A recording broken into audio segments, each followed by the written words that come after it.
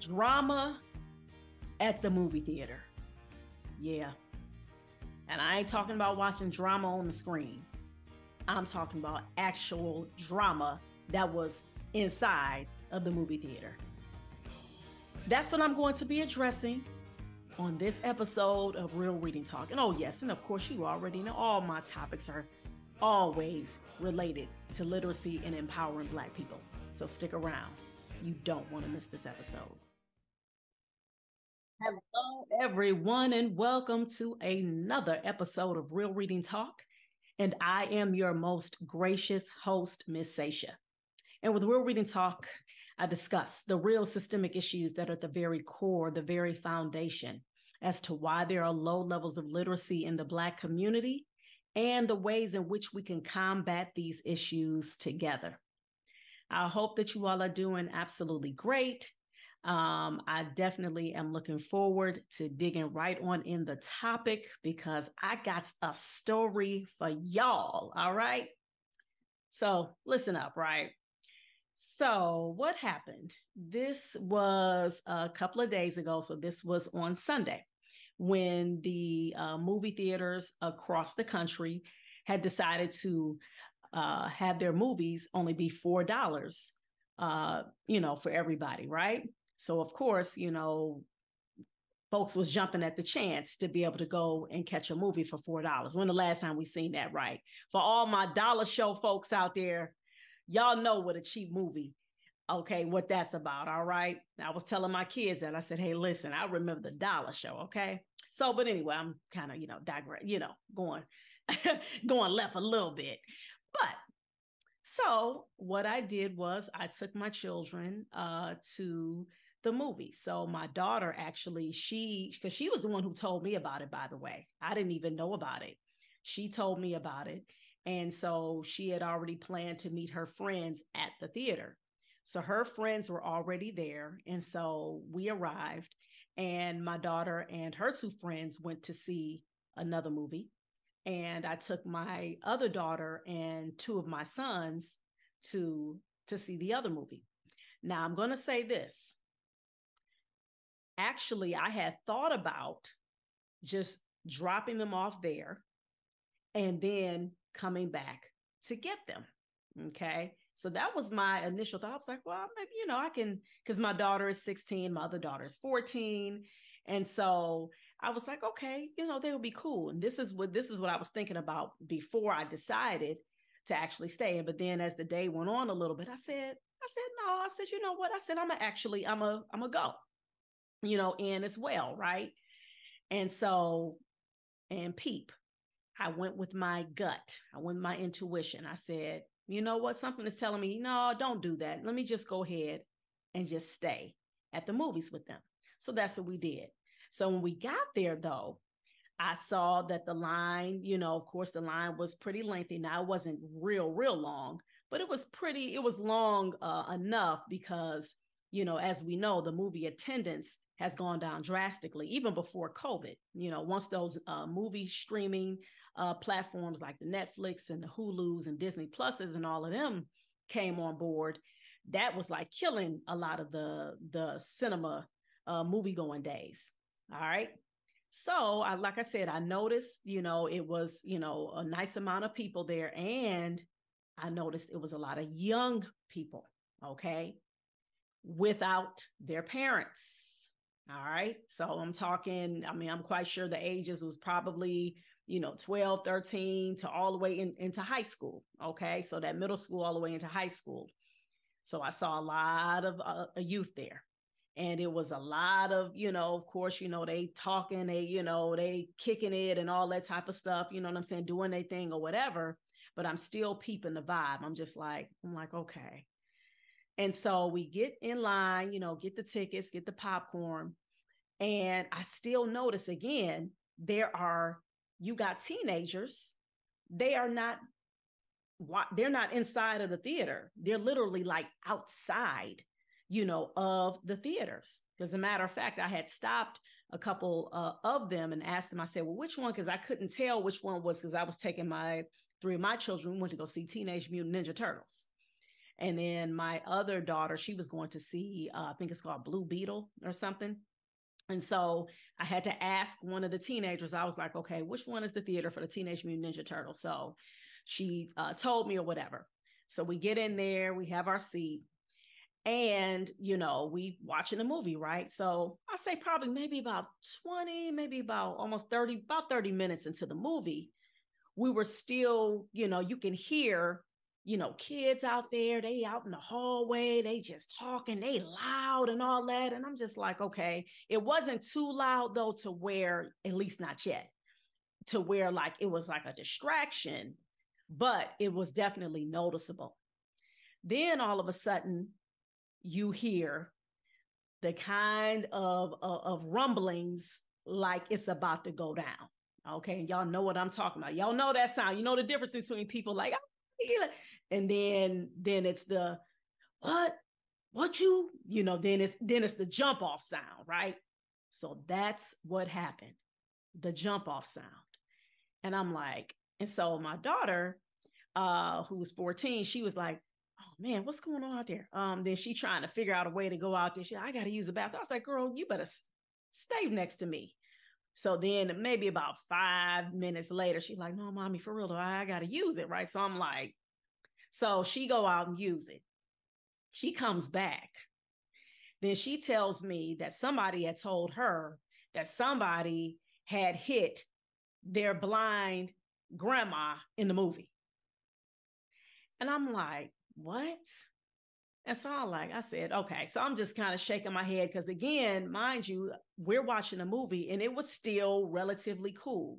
Now I noticed though that there were some kids who were like they would come inside, you know, the theater, then they would go, then it would be some who were leaving out or whatever. So it was we was noticing that kind of traffic. Then next thing you know, I want to say maybe about 15 minutes later, 20 minutes later, a lady comes in there who was, you know, uh, collecting the money for the tickets. She was like, she turned on the lights and was like, okay, everybody has to leave. I'm like, what? So literally, this was the first time I ever experienced this in my life to where we were told to leave out of the theater. And I'm just like, are you serious?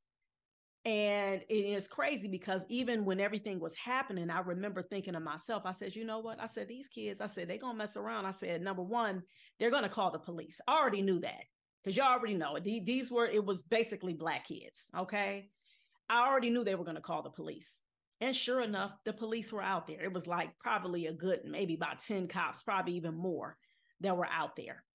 So we had to leave out of the theater.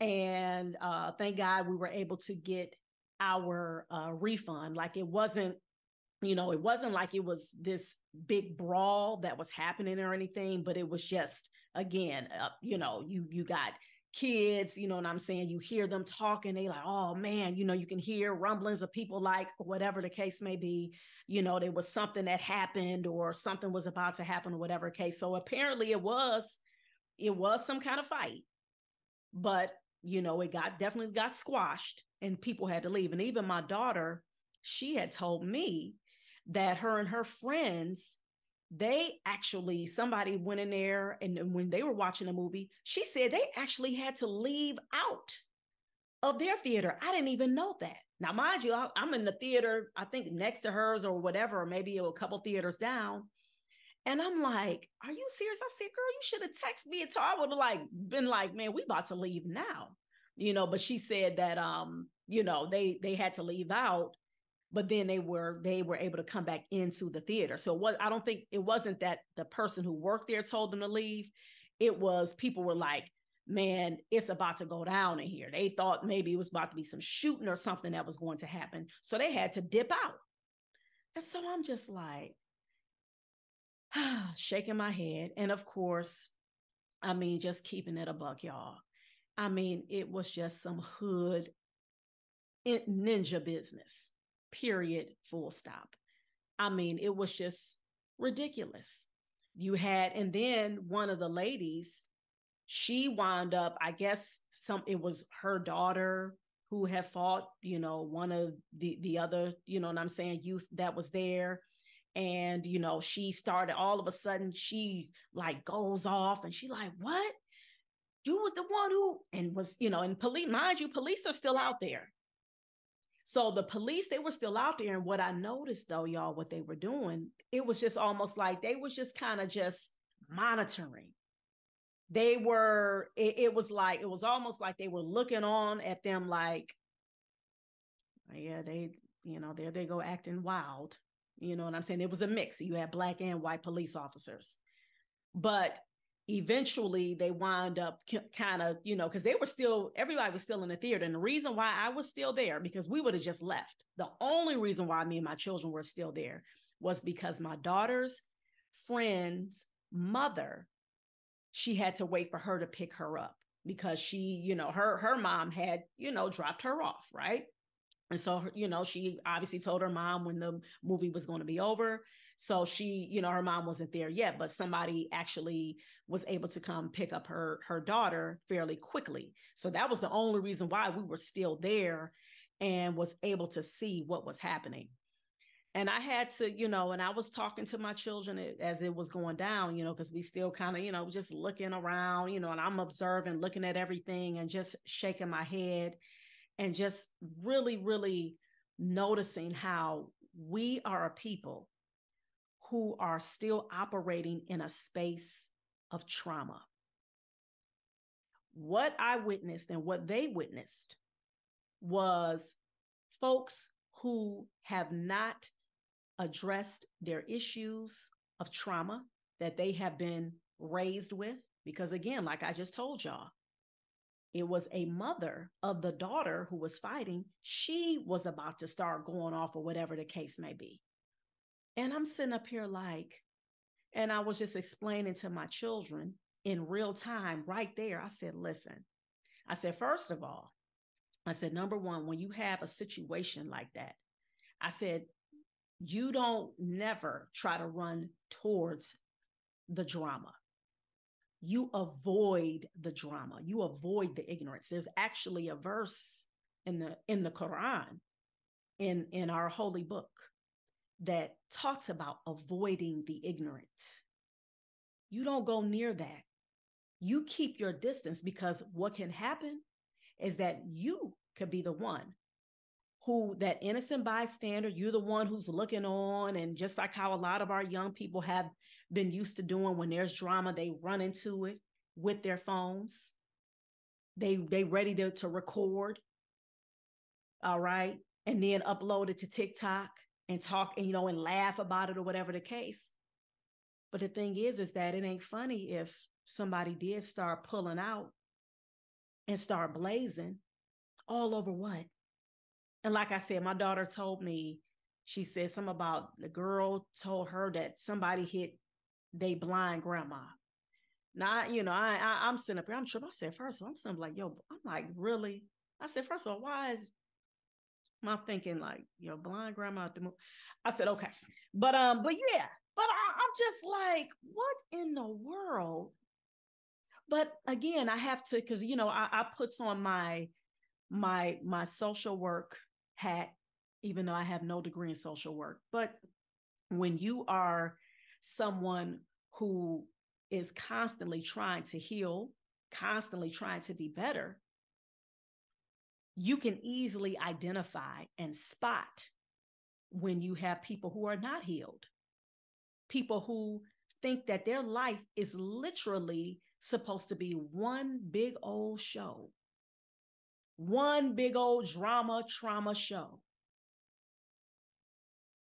And if you have people who are operating in that space as an adult. And all and, and what all they think is what they're supposed to do is everything about to be a fight. Everything every time you look up you know what i'm saying you ready to to pop off. Then that's that's pretty much that's what you're gonna that's what you're going to attract. That's what you're going to attract. And I and I'm saying this story because I, it was some points that I wanted to make that I wanted you all to walk away with. And the first one is just like I told you all in the beginning. One of the things that the one of the lessons from that is that I said, number one, make sure that you pay attention to your gut. That intuition that we have is there for a reason. Use it. You may not be right all the time because you ain't going to because we human, right? We we we go we're flawed. We may be thinking something or whatever, and and it don't be nothing. But a lot of times, when your gut, your intuition is telling you something, follow it, listen to it, pay attention to it. That's what our ancestors, they were thorough at. They were thorough at. And that's something that we got to make sure that we're doing as adults. We're modeling that and we're telling our children that. Because I've talked to my children about that plenty of times. I've talked to them about listening to their gut, paying attention to how you feel when you're in certain situations. If you're feeling kind of uneasy, if you're thinking that stuff ain't right, listen to that and be like, you know what? I'm, I'm going to pass on that. Because that could be the very thing that saves your life. That's the first thing.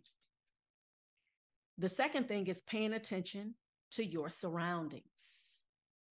Paying attention to your surroundings is something that you definitely have to make sure that you're doing your children should make sure that they're doing. They should always have their head on a swivel. I had to explain when I told my kids that they're like, "Oh, head on what's head on a swivel? What's that?" I'm like, "Listen, that's code for making sure that you always looking around." Now you got the you got them little bobble dolls and all that or whatever. You know, you got or like the sw- in the swivel chair. You know, it's turning around. That's how you should be. And yes, we have to operate like that as Black people. This is real talk, real reading talk. We must make sure that we are showing our children to pay attention to their surroundings.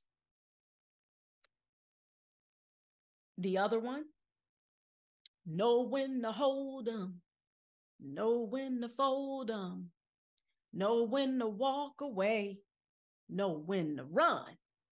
Yes, I busted out some Kenny Rogers on y'all, right? because that's real. You have to know when to hold them, when to fold them, when to walk away, when to run. Sometimes, as much as you may want to stay and enjoy yourself, or you may think that things is going to change around, when clues and signs are being shown to you that you got to roll out, make sure that you do that. Period. Our children should know to do that that situation right there was a full life skills lesson on again like i said making sure that you avoid trauma because that's what that was that was trauma drama all of that that's all that was that was an example of people who are trapped in their trauma and they are like they they either they don't know how to get out of it that's a lot of times it's like that or they may know how, they just choose not to uh, get out of that trauma because that's what they've been used to. That's something that actually becomes a soothing for them. Actually, when they're introduced to something that's healthier, it's almost like their body rejects it. That's just like somebody who eats a whole bunch of junk food all the time, right? All they do is eat junk, eat junk. And then the moment something healthy comes in their system, it's like, it's like morphing. They like turning to something else. Metamorphosis around here. They like they start convulsing and everything. Like, what, what's this? You know what I'm saying? And again, we have to stop normalizing trauma. We have to quit thinking that trauma is our way of life because it's mm. not. It's not. That comes from a place, though. That comes from a place. You know what that place is? That place is called enslavement. It's called being oppressed. That's why these issues, when it when, as it pertains to our trauma and our pain, and us, you know, always trying to go to a, a situation where it's it's chaotic, or we think that anytime something happens, uh, you ready. Dr. Joy DeGruy talks about that in post traumatic slave syndrome. It's like we could be having a good time. Everything could be cool. We laugh, hey, what's up, girl? You like, hey, dude, what's up? But it's always in the back of your mind, you thinking like, okay, all right, some pop off. You know what I'm saying? I'm ready. Like we stay warm, right? You know, we always, it's always something brewing. And we could be having a great time. And you know, that's that's part of the post-traumatic stress that we deal with from slavery. That's what that is. That's why Dr. Joy DeGruy is masterful at explaining that. Because that's exactly what we be dealing with. It's always, we can't never just chill, relax, be present in the moment. It's always, okay, some about to pop off. And that's how, when you know that, that's when we have to make sure that we are actually naming it and addressing it. And don't let anybody try to tell you anything different. But I'm here to tell you on Real Reading Talk that we can actually heal. We can actually do better. And we will do better. But we have to want it. We have to want it in our hearts and then train our brains to be able to be in situations where we're like, you know what? Okay, this is good. This is healthy. Great. All right, this is not good, not healthy. All right, cool. We we stand away from that. We have to develop those practices ASAP. And another thing too, and I'm just keeping it a buck. And I had to tell my kids this, and I and I say this to myself. Everybody don't want to be saved. Everybody don't want to be saved. And that's just the reality of it. You have folks for real, for real. They are content where they are. And they like, just leave me the heck alone. Let me do me.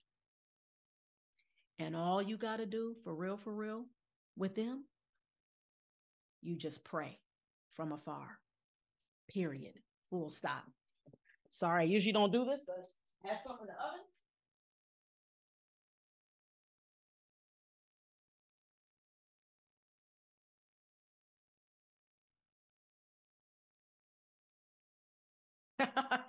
Sorry, y'all. Had to.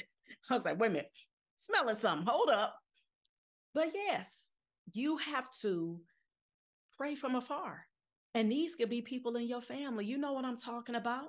I remember I had a conversation with my students, uh, one of my older other students' uh, parent before, and she was just telling me about how there was some drama happening in her family, and it was craziness, fights popping off, and these were like, you know, people. I, I want to say like Pat, like in their fifties and sixties and stuff. And I was just like, and she, and she was somebody she was just like, I want better for my family.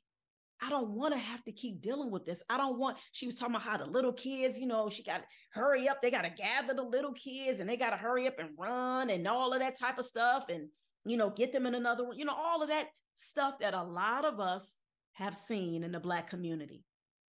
How many times we've heard comedians make jokes about it.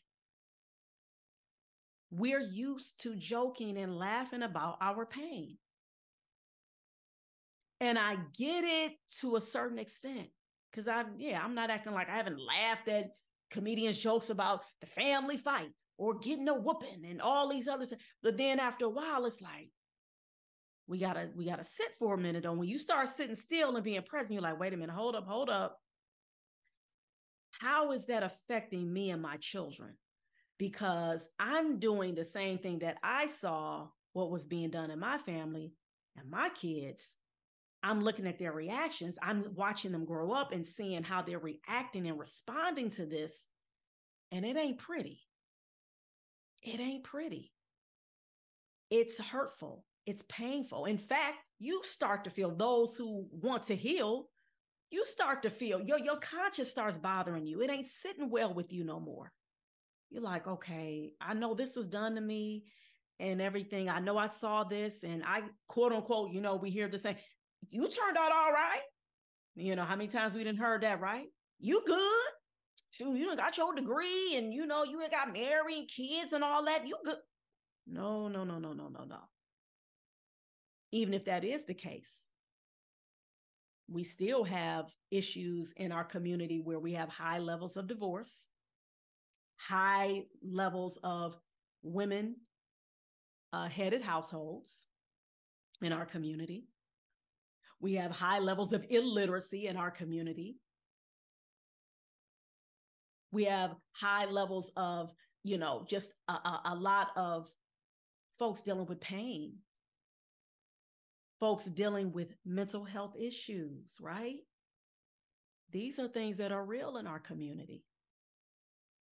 And just like I started off the episode explaining to you all, that right there, what I saw, I saw the face of a woman because she actually, when we were leaving, we were, you know, finally able to leave.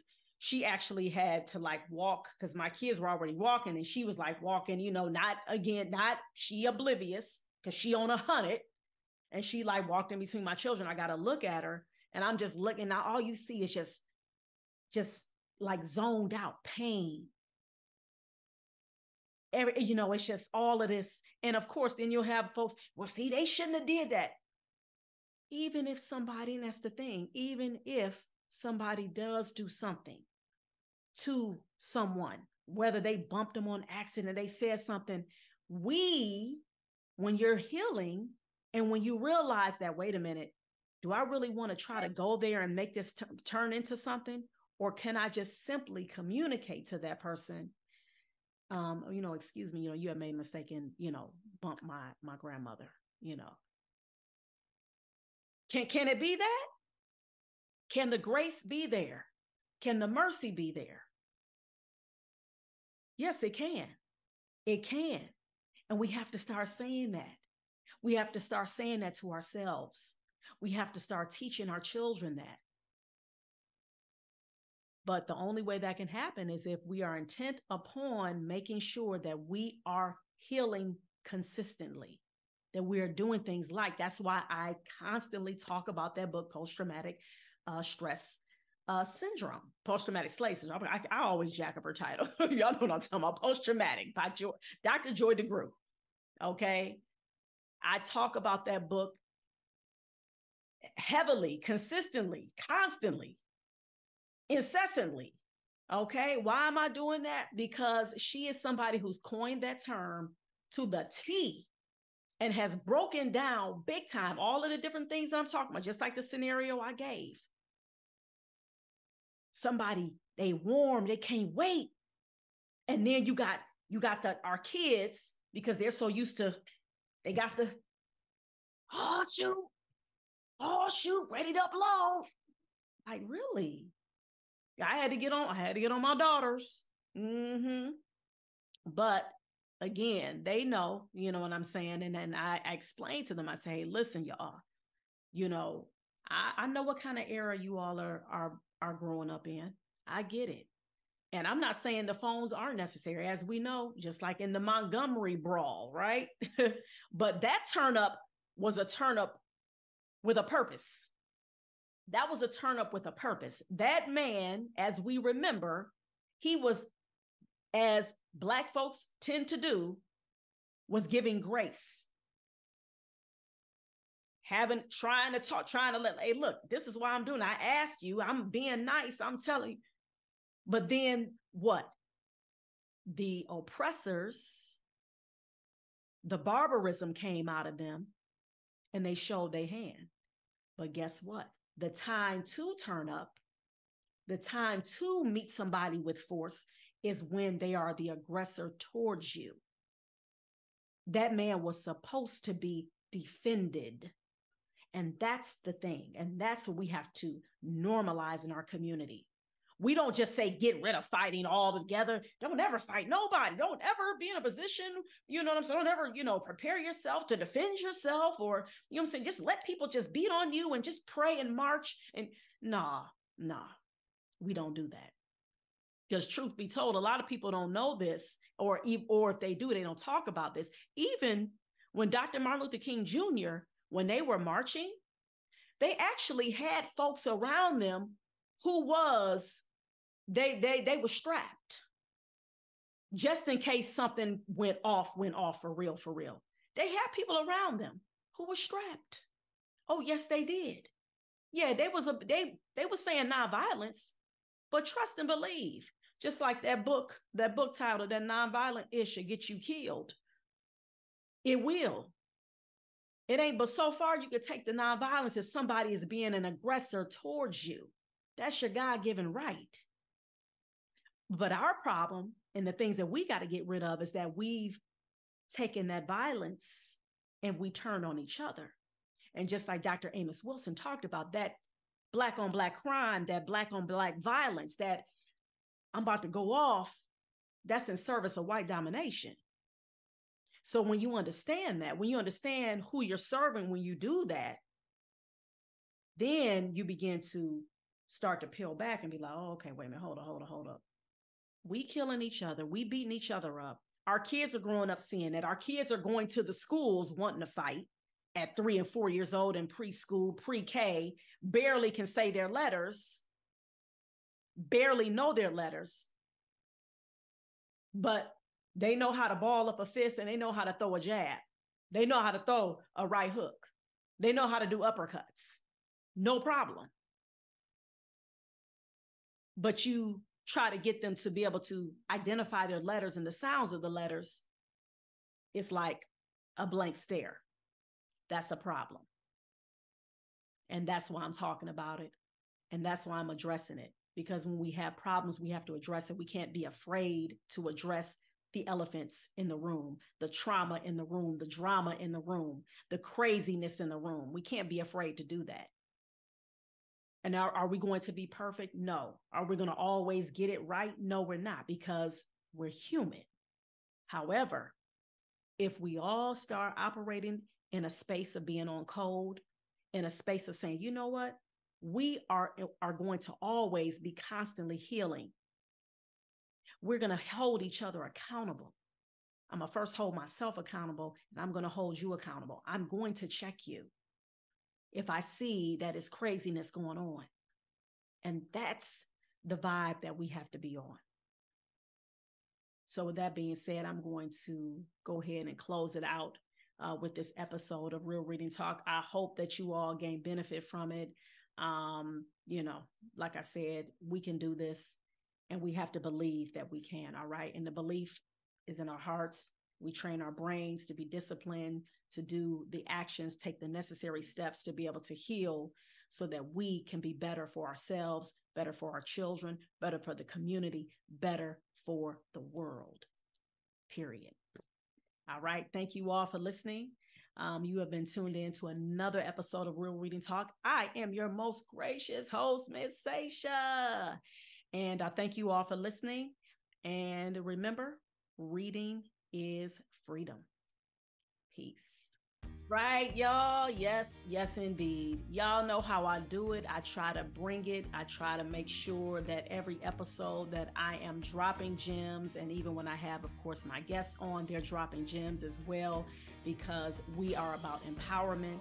And my lane, my goal is to get our people back into reading because truth, truth be told, y'all, when our people are reading like we should be, when we are valuing that literacy, when we are valuing that empowerment, just like I explained during the episode, all of that stuff that I talked to you all about during this particular episode, majority of that stuff would not even exist. It will not. It won't be no room for it.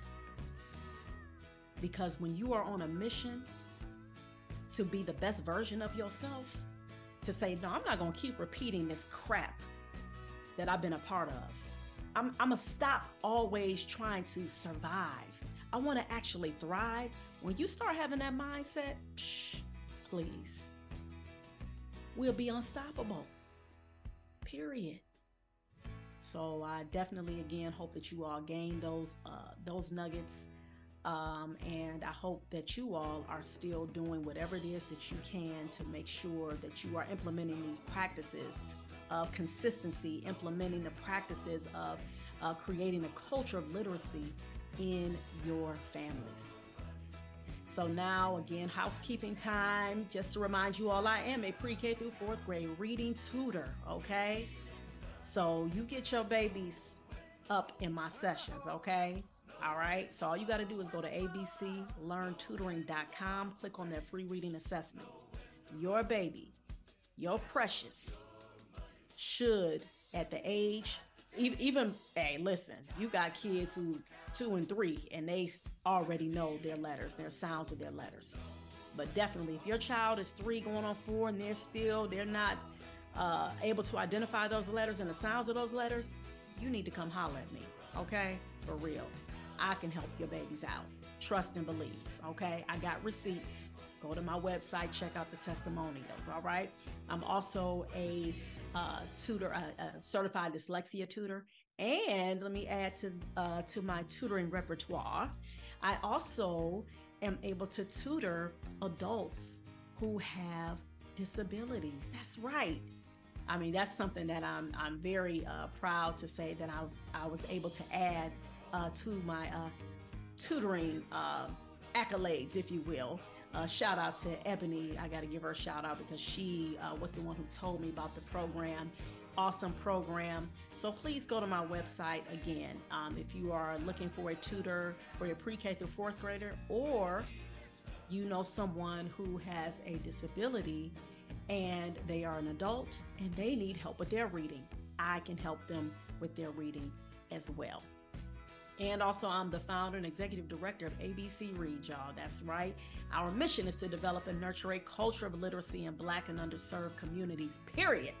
And we've been doing it since 2014, giving out books. We've, been, we've given away over 5,600 books, close to 5,700 books already.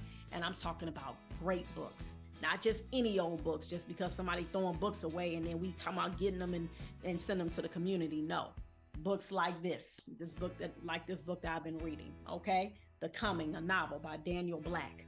All right, um, books that represents our black children.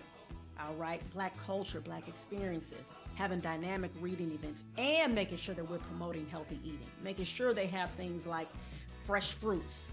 All right, some good nutritious snacks. Okay, these are things that we do because we know these are the things that help contribute to a person being able to be healthy minded. Okay. And uh, also, again, um, I want you all to make sure you subscribe to my uh, YouTube channel. That is Reading is Freedom. This episode will be uploaded to that to there as well. And I have a plethora of read alouds on there for the whole family. All right.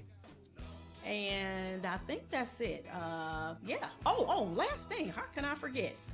Bam, my, I got it on. Okay. Oh, I got it on. Messing up stuff. All right. Reading is freedom, y'all. Got my merch on. Okay. I got the merch on. Reading is freedom. That is the brand that I came up with. Okay, because our literacy should always be connected to our liberation. Okay. And uh, so, with that being said, check out my store, Reading is readingisfreedom.store. I have plenty of people who gotten the shirts, they got our mugs, hats, bags, and they were just like, thank you. They appreciate it, they love it. You make sure you get yours, okay? Last two things. I, like I told you, I always like to tell you all about the book that I'm currently reading. So, this is one of the books. I'm actually reading a couple books. This book, The Coming, it's a novel by Dr. Daniel Black, and this is a realistic fiction. And he is telling the story of our ancestors and what they were dealing with on that traumatic, horrible boat ride uh, to uh, the Americas to build it up to what it is today. But he is telling the story, again, like I said, um, from the standpoint of our enslaved ancestors and the things that they endured based off of you know information that's out there from you know enslaved narratives and different things of that nature. This book ain't no joke. It's really from it's kind of a hard read. It's an easy read. Like it's very it's like a kind of poetic in a sense um, the way it's written. Um, a lot of short sentences you know a lot of it, it's it's definitely uh, something that affects your heart okay And, you know, I do recommend that you get it if you are somebody who is into wanting to learn more about Black history and our Black culture, Black experiences. As we know, it did not start on the slave plantation, but that is the big interruption, the big disruption that happened to our people. And we must learn about it so that we can always remember to say, never again, never again. And I want to end with the quote as well. So I have a quote by Muhammad Ali. And the quote is You don't lose if you get knocked down, you lose if you stay down. Muhammad Ali. All right, y'all, that's it. I'm out of here. I appreciate you all so much for listening. Again, my name is Miss Sasha. This was another episode of Real Reading Talk, and this was episode 13. And I thank you all for listening. Make sure you share, like, comment, and, and, and, and hit the notification bell, all of that great stuff. All right, y'all, with that being said, remember to please keep reading for at least 30 minutes a day. And remember, reading is freedom.